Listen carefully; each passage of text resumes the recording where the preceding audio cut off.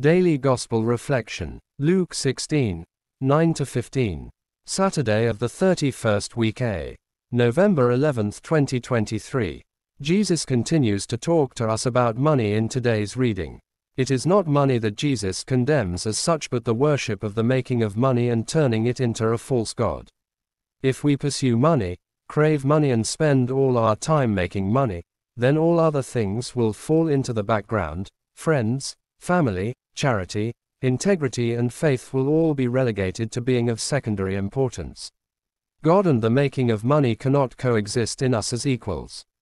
One of the two will exercise dominion over us.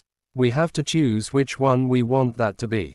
If we choose God as our top priority, then the making of money should be at the service of Him.